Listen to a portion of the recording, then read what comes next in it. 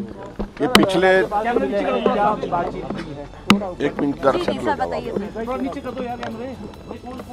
पिछले कुछ दिनों से जो घटनाक्रम विधानसभा के अंदर चल रहा है, उस सारे घटनाक्रम की जानकारी महामहिम राज्यपाल मोदी जी को हमने दी है।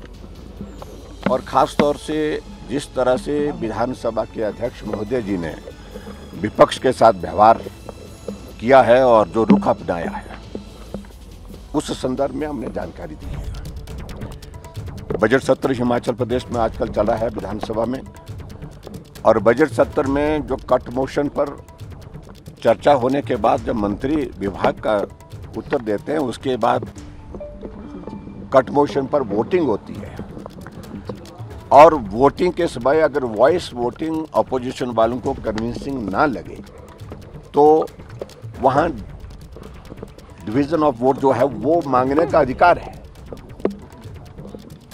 और हमने उसी के लिए आग्रह किया था, लेकिन दो बार आग्रह करने के बावजूद भी हमारी बात को नहीं सुना गया हाउस को एडजॉर्न कर दिया गया। और ऐसी सूरत में जब सारी चीज़ों को लेकर के हम अध्यक्ष मोदी जी से मिलने के लिए सारे विधायक जा रहे थे तो मार्शल खड़े कर दिए। और मार्शल खड़े करके विधायकों के साथ जो जिस प्रकार से व्यवहार हुआ है धक्के मुक्की हुई, विधायक घायल हुए हैं, घायल हुए हैं, गले से पकड़ लिया विधायकों को मार्शल के माध्यम से। यह आज तक हिमाचल प्रदेश की विधानसभा के अंदर कभी नहीं हुआ। और उसके बाद जब हम उनको मिलने के लिए उनके ऑफ़िस में प्रवेश किए तो अध्यक्ष महोदय मुकर जाते हैं, कहते हैं कि हमने तो आदेश दिए ही नहीं है। मार्शल किसने लगाए? और जो सिक्योरिटी इंचार्ज है, वो बोलते हैं कि हमको स्पीकर साहब के आदेश है।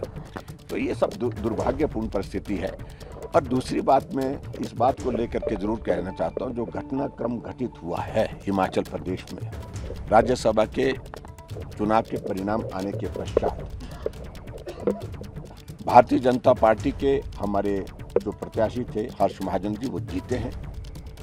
और सरकार बहुत बड़े बहुमत में थी, उसके बावजूद भी जीते हैं। और स्वाभाविक रूप से जो जीतने के जो सारी चीज़ें, घटनाक्रम जो घटित हुई हैं सब वहाँ पर, उसमें अगर हम देखें तो वर्तमान में कांग्रेस की सरकार को सत्ता में रहने का कोई अधिकार नहीं है। यही मैं कहना चाहता हूँ, और वो अभी जो जानकारी हमने इस संदर्भ में खासतौर से जो घटनाक्रम घटित हुआ पिछले दिनों में उसके बारे में अपनी जानकारी जो है हमने महामहिम राज्यपाल मोदी जी को दी। सर डिवीज़न ऑफ़ फोर्स होगा सर आज डिवीज़न ऑफ़ फोर्स होने देखिए हमें हमें कई तरह की कई तरह की एप्रीहेंशन हैं। हाँ। कि जिस प्रकार से व्यवहार विधानसभा अध्यक्ष का है वो हमारे विधायकों को सस्पेंड कर सकते हैं ताकि कॉम्पिटिवली बजट को पारित किया जा सके। ये भी एक आशंका है जो हम ज़ाहिर कर रहे हैं। और इसके अलावा मुझे ये भी मालूम पड़ा कि कांग्रेस के कुछ विधायकों को नोटिस दिए हैं जो जिन्होंने वोट दिया है और उनको नोटिस दे करके कि आपके ऊपर जो है हमारा डेढ़ बजे का समय तय किया उसमें तो उसमें जो डिफेक्शन लॉ है, जो एंटी डिफेक्शन लॉ है, उस पर उनने कहा कि आपके खिलाफ कार्रवाई क्यों ना की जाए। अपना पक्ष प्रस्तुत करने के लिए उनको डेढ़ बजे बुलाया गया है। तो उनको सस्पेंड करने की, उनकी ओर से जो मंशा ज़ाहिर की जा रही है, वो भी एक संभावना है। और ऐसे में बहुत सारी चीज़ों को वो करने जा रहे हैं जो कि नियम के मुताबिक नहीं है। राज्यसभा में नंबर वन विप जारी नहीं होता है। विप जारी किया कांग्रेस ने। दूसरी बात, राज्यसभा में कोई क्रॉस वोटिंग होती है तो उसमें वो इनवैलिड नहीं होता है। उसके लिए तो इलेक्शन कमीशन ने क्लियर गाइडलाइंस की और जबकि मुख्यमंत्री बार बार यही कहते रहते हैं कि अगर आपने क्रॉस वोटिंग किसी ने भी की तो वो वोट इनवैलिड माना जाएगा। लेकिन उसमें इलेक्शन कमीशन ने डायरेक्शन दी इसमें वो फिर वो चुप हो गए, उसके बाद कोई जवाब नहीं दिया। और उसके बाद अब जब इसमें जो है वो दल बदल कानून का कोई रोल ही नहीं है। उसके बावजूद भी विधायकों को प्रताड़ित करके, तंग करके, उनको परेशान करके इस प्रकार के कार्रवाई करने की दिशा में वो आगे बढ़ रहे हैं। और मैं समझता हूँ ये उनकी बौखलाहट है और कांग्रेस की सरकार हमारी वजह से नहीं अपने कारणों से संकट में इतने ही इन टोटल कितने विधायक हैं सर जो आप लोग के टच में है सर?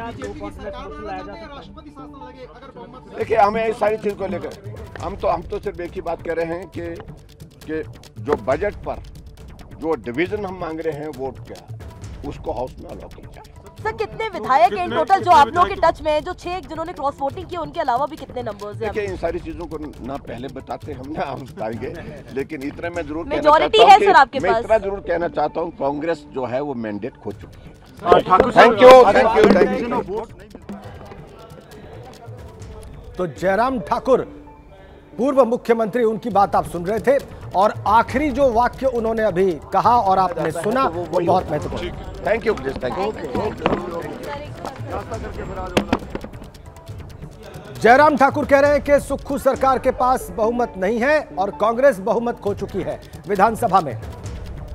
बहुत सारी बातें उन्होंने कही लेकिन उसकी समरी ये थी उसका निष्कर्ष ये है और वो कहना ये चाहते हैं कि कांग्रेस सरकार के पास विधानसभा में बहुमत नहीं है और कल जो कुछ हुआ और जो कुछ हो रहा है उसके लिए कांग्रेस स्वयं जिम्मेदार है इसमें उनकी कोई भूमिका नहीं है। पूर्व मुख्यमंत्री जयराम ठाकुर राज्यपाल से मिले, बीजेपी एमएलए के साथ, और उसके बाद बाहर आकर जब उन्होंने मीडिया से बात की तो उन्होंने कहा कि कांग्रेस ने बहुमत खो दिया है। और ये जो कुछ हुआ है, उसके लिए कांग्रेस स्वयं जिम्मेदार है। ये बात जयराम ठाकुर ने कही, और उनका कहना है कि कांग्रेस सरकार बहुमत साबित करे। उन्होंने यह भी कहा कि उन्होंने गवर्नर को मौजूदा स्थिति के बारे में जानकारी दी है। अल्पमत में है सुखविंदर सिंह सुक्खू सरकार, ये उनका दावा है। और अब वो ये मांग कर रहे हैं कि सुक्खू सरकार बहुमत साबित करे। कांग्रेस के पास नैतिक अधिकार नहीं बचा, ये भी उनका कहना है। उनका ये भी कहना है कि कांग्रेस अपनी वजहों से, उनकी खुद की वजह जिम्मेदार हैं, जो स्थितियाँ डेवलप हो रही हैं हिमाचल प्रदेश में। राज्यपाल से मुलाकात की है सुबह सुबह जयराम ठाकुर ने बीजेपी एमएलए के साथ और उसके बाद यह बात कही है।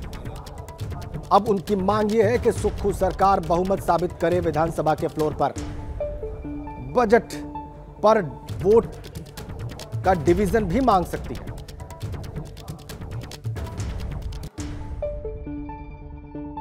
आराम से। ये पिछले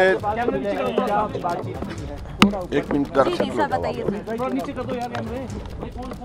पिछले कुछ दिनों से जो घटनाक्रम विधानसभा के अंदर चल रहा है उस सारे घटनाक्रम की जानकारी महामहिम राज्यपाल महोदय जी को हमने दी है। और ख़ास तौर से जिस तरह से विधानसभा के अध्यक्ष महोदय जी ने विपक्ष के साथ व्यवहार किया है और जो रुख अपनाया है उस संदर्भ में हमने जानकारी दी है। बजट सत्र हिमाचल प्रदेश में आजकल चल रहा है विधानसभा में। और बजट सत्र में जो कट मोशन पर चर्चा होने के बाद जब मंत्री विभाग का उत्तर देते हैं, उसके बाद कट मोशन पर वोटिंग होती है। और वोटिंग के समय अगर वॉइस वोटिंग अपोजिशन वालों को कन्विंसिंग ना लगे तो वहाँ डिवीज़न ऑफ़ वोट जो है वो मांगने का अधिकार है। और हमने उसी के लिए आग्रह किया था, लेकिन दो बार आग्रह करने के बावजूद भी हमारी बात को नहीं सुना गया हाउस को एडजॉन कर दिया गया।